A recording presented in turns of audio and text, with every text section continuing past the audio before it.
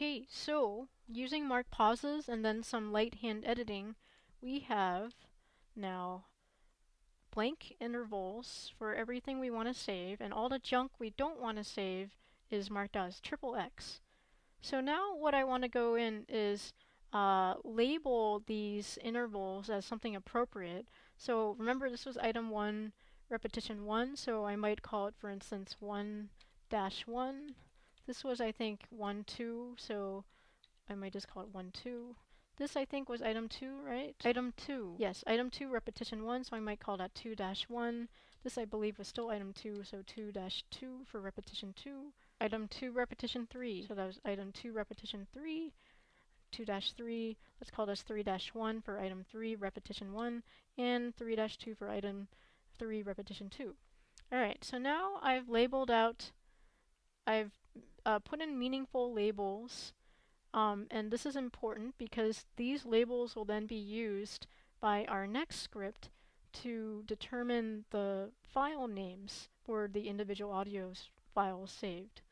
So, alright, let me first quickly first save this text grid because I've edited again and added in these labels. So now I'm saving it in the same directory as before, so let's go ahead and save it. Alright, and good. Now what we're going to do is open up the second script. So I just did Command O, read object from file. For PC users that'd be Control O. And let's open up save labeled intervals to wave sound files.praat. Alright, so now we have this open. Let's take a look at it. Um, so again, user settings you can change are here in where it says form and form. Couple things we might do um, I'll mention a few of these when we look in the dialog box that pops up, but here we want to specify a few things. So give the folder where to save the sound files. So there's individual sound files, one per sentence.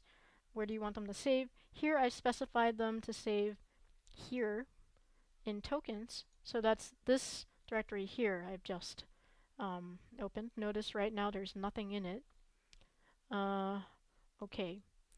And don't forget this forward slash, or PC users, you might have a backslash. And here's a neat thing.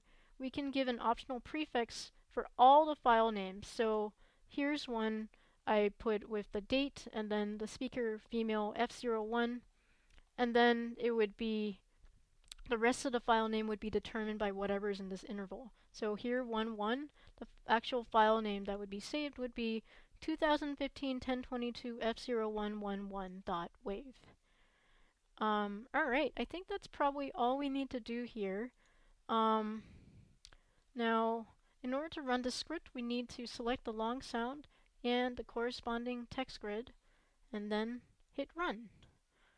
Now, I promised to make a few more comments when I saw this dialog, when we saw, got to this dialog box, Note here you can say which interval tier you'd like to process. That's tier 1 for us.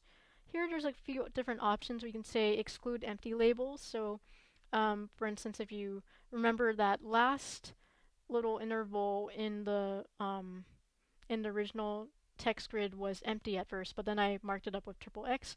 Um, but we could have just left it empty, and this would say ignore those as well. This says ignore the XXX, don't save those and also ex exclude intervals starting with dot. So any anything like that will not be saved.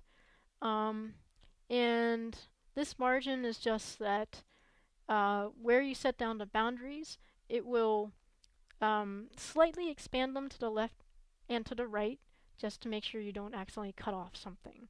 So this says expand it to the right and to the left by 0.01 seconds on each side. Alright, let's go. So I hit OK. And seven sound files will be saved. Sounds good. Hit continue. And whoa, look at that. Now I have all of these individual sound files um, in tokens. If I open these all in Praat, if I say shift and then select and open with Praat, then look at this, I'll hit play. Item 1, repetition 1. Hey, look at that. Item 1, repetition 3. Oops. Oh, I guess maybe, oh right, maybe that was actually, well, well I should have labeled that 3, but item 2. item 2, item 2, repetition 2, and so forth. So you can see it's done exactly what we wanted. And so now we've gone from having this big old audio file with all those sentences in it to having a nice directory with one file per individual sentence repetition.